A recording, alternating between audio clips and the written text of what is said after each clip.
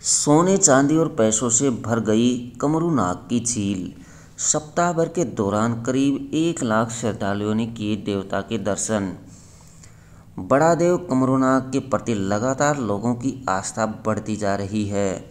इस बार 14 व 15 जून को आयोजित हुए दो दिवसीय मेले में तथा पिछले सप्ताह भर के दौरान करीब एक लाख श्रद्धालुओं ने देवता के दर्शन कर आशीर्वाद प्राप्त किया।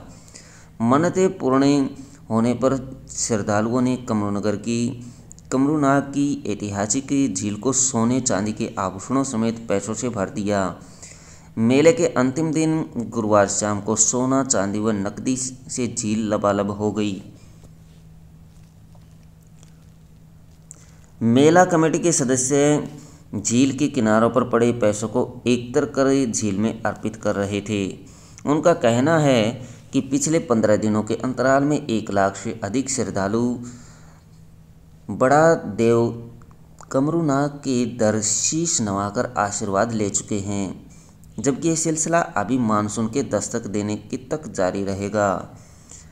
देवता कमेटी के सदस्यों का कहना है कि लोगों के आमद घटने के बाद कमेटी परंपरा का निर्वाह करते हुए देवता कमरूनाग से झील साफ़ करने की अनुमति मांगेंगे।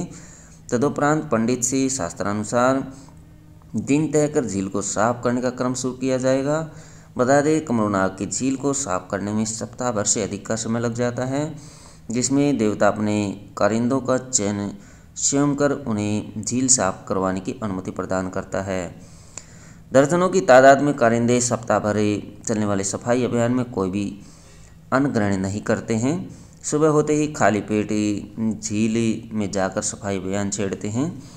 इस दौरान सोने चांदी के आभूषण समेत जो भी नकदी मिलती है, उन्हें एक कर कर सफ़ाई के बाद पुनः झील में अर्पित कर दिया जाता है।